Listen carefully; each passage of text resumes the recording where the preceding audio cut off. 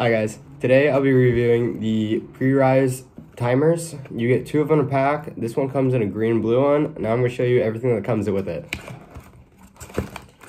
So of course, I told you, get the blue one. then also you get the green one. They're the exact same thing, so I'm just going to show you guys everything that happens with the green one.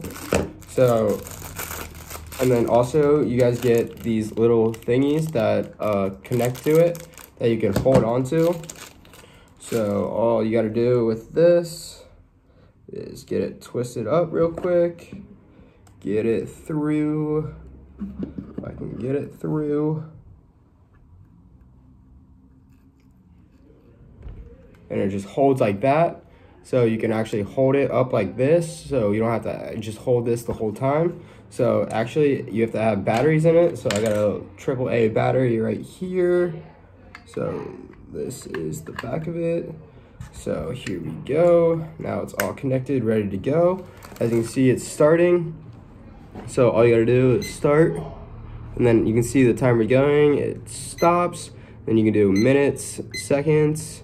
So these are these two buttons are to reset it. So you can uh, do, let me do five minutes or something like that, six minutes, and you can start it, and then it goes down from the time you started, or you can click both of these buttons and it resets it. Or, and you can also just start it and then it goes up from there.